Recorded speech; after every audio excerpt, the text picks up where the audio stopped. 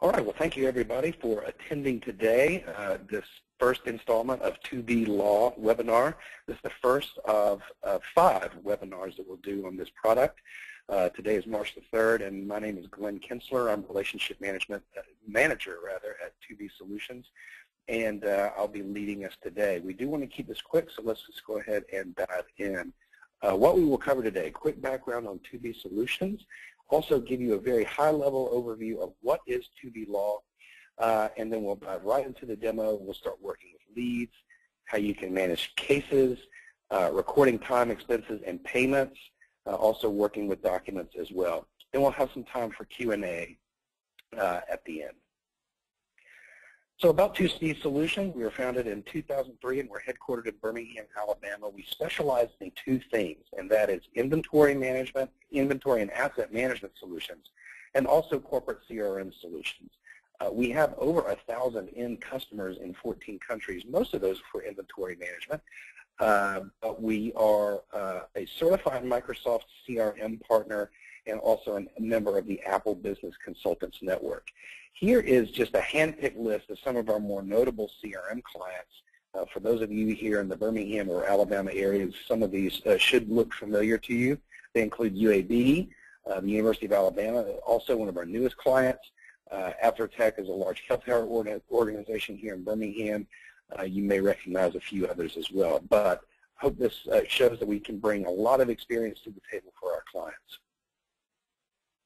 So what is 2B Law? Well, 2B Law is a centralized place where uh, firm employees, attorneys and admins, can store all relevant data and activities relating to legal cases that are ongoing, also their clients and prospective clients as well. It's also a fully functional CRM solution based on one of the best-of-breed solutions out there, Microsoft Dynamics CRM. Uh, there's also integrated document management uh, along with the solution for those who want to take advantage of Microsoft SharePoint. Uh, and it can also be a very, very helpful and powerful tool for firm admins and managing partners to analyze and track data uh, key to, to the firm. Uh, things like profitability, uh, caseloads, um, time billed, so forth and so on. Just having a central and standardized place to put everything uh, will streamline a lot of activities and make things easier to find for everybody. Uh, with 2B Law, it's very easy to find the information that you're looking for and share that information across the firm. It's more affordable than other case management solutions out there. I know that there are a number, uh, but 2B Law is also totally customizable, and that's not something that, that, that uh, you see very often with case management systems. Uh, everything that I'm going to show you can be customized depending on your firm's needs, including things like layout, uh, field options, um, you can also leverage the out-of-the-box capabilities of Microsoft Dynamics CRM, including uh, lots of robust marketing functions, uh, permissions, in, in, other words, being able to share or hide uh, information from others in the firm, uh, very powerful workflow engine, customizable dashboard, email alerts, and that's really just scratching the surface of, of Dynamics CRM. There's also an integrated mobile app as well, which we'll talk about in more detail in one of our future webinars. So let's dive right into the demo. And when I first log in, notice this is a browser-based application. I'm currently using uh, Internet Explorer, although you can use uh, Chrome or Safari if you use a Mac, uh, Firefox as well. But I'm using Internet Explorer today. Uh, the system, when you first log in, generally opens to a dashboard, which is just a very high-level representation of some key metrics in the firm. This can all be customized, but here I've just got a, a breakdown of, of leads, uh, a breakdown of cases assigned to attorney. If I scroll down a little bit, I've got a uh, breakdown of case types in the firm, so I can quickly see here I've got a lot of family law, a lot of criminal law, and just maybe you know just a handful of civil cases.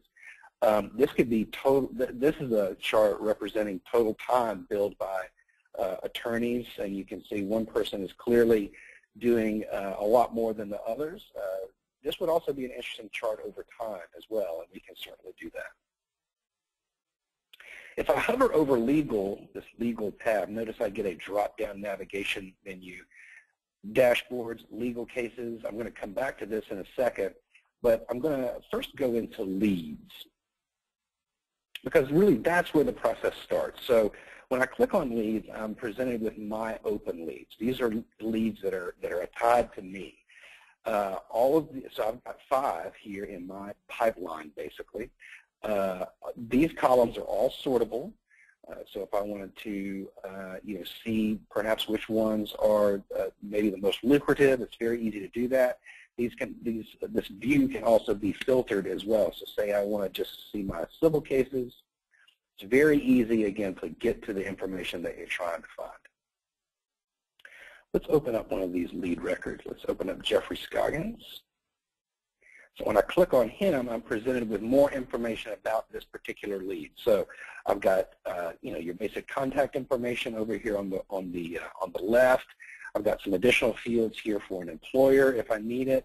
Uh, over here on the far right, I've got more details about the case, including the charges, what type of case it is. Notice this is a drop-down field here, and this and these options can all be customized depending on your firm's um, what, what type of law your firm practices this is a criminal case.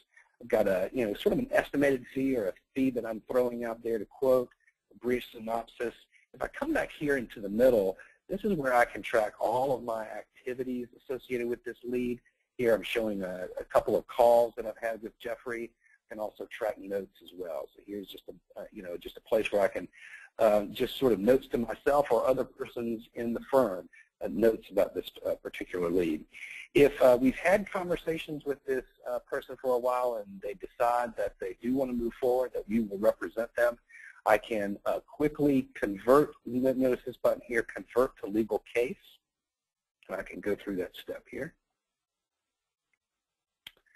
This is a workflow that's running in the background. So now this lead becomes inactive and uh, everything is kind of fixed on that lead and now I'm presented with the actual legal case. Now I'm going to go back and look at all the legal cases. These are all of, notice again, these are my legal cases. If I wanted to look at, say, all legal cases for the firm, I can. Uh, notice here there's 63 total. Um, these are called views, different views, and so I can look at all the bankruptcy or all the civil or, uh, again, all cases, but I'm going to go back to just my legal cases. And here I'm working on 15 of them. Here are my you know, my clients, the case number, uh, case type, quoted fee, uh, date opened again, but all of these um, all these uh, columns can be changed uh, if if there if there's other information that you want to see. But let's go in uh, to Leota Ballard. And again, I have my uh, sort of basic case information here. This is a family law case, jurisdiction, so forth. Some more information about the case. Notice here uh, at the bottom, I've got uh, just an overview of the billing. Here in the middle, I've got um, time, expenses, and payments pains. Uh, notice here I've got a couple of time records uh, entered already. Uh, if I wanted to add new time to this case, I click, quickly click on this um, add time record and uh, some of this information is pre-populated for me, so I can pull in, okay, is this in court or out of court? Uh, I select this as out of court. Notice my out of court rate is uh, auto-populated for me. If this was an in court, the number might change. Uh, I can add a brief description here, but let's say this is in court. I work two hours. We'll go ahead and uh, click Save. And now I've got three time records uh, here. Uh, this, this will help me keep track of my expenses as well and also payments. Uh, if we refresh this page,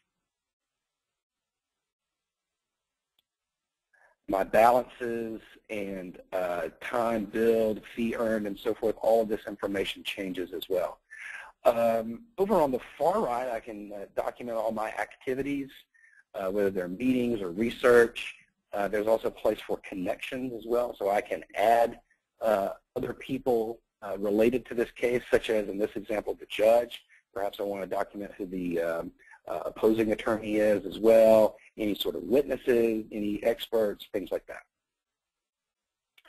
So as I scroll down here, I've got information specific to a family law case. You know, I've got who the spouse is, date of marriage, date of separation, and so forth. Uh, brief description, children. We could add more fields if needed. But what if this were actually a criminal law case? So I'm going to scroll back up. I'm going to change this to criminal law. And if I scroll back down, notice all of these options are now different. I've got uh, uh, you know, things like uh, places where I can store the judge and the prosecutor and places where I can provide more information about the charges. So these are dynamic fields here. Generally, this field here would be fixed. After it's set, it can't go back, uh, you know, be changed. But I just did want to demonstrate to you that um, different fields will be presented depending on what case type it is. uh, let me just wrap up with uh, a little bit of information about um, documents. So um, Microsoft CRM works great with other Microsoft products, most notably SharePoint, uh, particularly for uh, organizations that are using Office 365, which is the Microsoft's cloud-hosted version of Exchange and SharePoint and Lync. But I'm going to open up this Brian Williams um, uh, record. And so this is a this is a different type of case. Notice some some different entries in here. If I click on this little, this is called the related tabs button. If I click over here and scroll over to documents, I'm kind of taken into another page, and this is basically kind of a window into SharePoint. So uh, if, I, if I don't have any documents loaded in here now, but if I wanted to upload one, I could. Uh, I could uh, click the Add Document button browse to it on my uh, desktop. So we'll do this uh, discovery doc here. This is a Microsoft Word document. Click OK. And now this document is being uploaded and stored in uh, SharePoint. Uh, and this can be accessible for other members of the firm, um, myself too. You can also take advantage of um, of uh, SharePoint's versioning capability. So if another person comes in and edits it later, that will all be uh, stored and documented. So uh, it's really a, a, very, very powerful tool uh, to um, really just streamline so many activities, replace a lot of manual processes, uh, a lot of uh, spreadsheets, a lot of heavy use of Outlook, and so forth. I hope that this has been helpful for you today we will be doing a couple of more of these in the upcoming weeks. If you do have any uh, questions, would love for you to contact us directly at uh, sales.2bsolutions.net. Uh, here's my phone number as well, 205-408-9991, extension 3. That comes straight to my desk. You can also visit this link for more information about the product. Uh, I really appreciate everybody's time. Thank you very much. If you'd like to learn more, perhaps see a customized demo, uh, please contact us. We'd love to talk. At this point, I'm going to stop the recording and then get into the Q&A.